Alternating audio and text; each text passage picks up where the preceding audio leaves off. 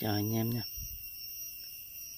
vừa nãy mình vừa mới đem được uh, mấy con anh em ạ. Mình mới nhặt được ba con.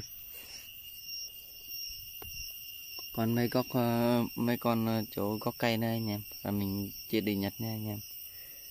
Nên là video của mình cũng hơi dài rồi anh em ạ. Mình tạm dừng video nha anh em. Tại vì mình vừa mới căn chỉnh cây củi đây anh em.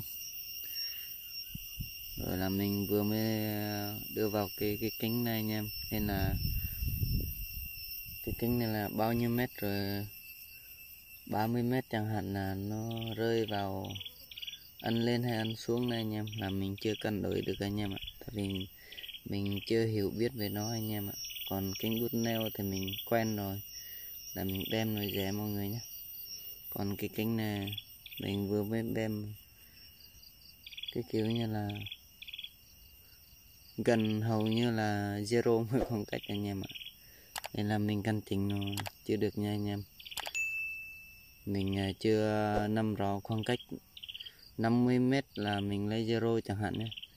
Là 30 40 50 60 70 là nó rơi ăn vào bao nhiêu hột rồi bao nhiêu trăm đồ này kia anh em. Mình chưa cân nha anh em có gì à, buổi sau mình làm video mình đi cân đôi rồi. Mình mới đi thực chiến trong rừng nha anh em. Còn giờ mình chỉ à, tranh thủ buổi sáng như vậy thôi anh em ạ. Còn bữa trước mình có hướng dẫn cho anh em là cách à, xếp lót xo đĩa rồi là đồ này kia đây anh em. Mình hướng dẫn cho anh em anh em mình à, bữa nay à, mình sẽ làm video ít nói và ít uh, quay ờ, video dài nha tại vì một số anh em nói là mình làm video, nói nhám đồ này kia là anh em nói nhiều. Nên là anh em xem nó ngán, anh em không thích.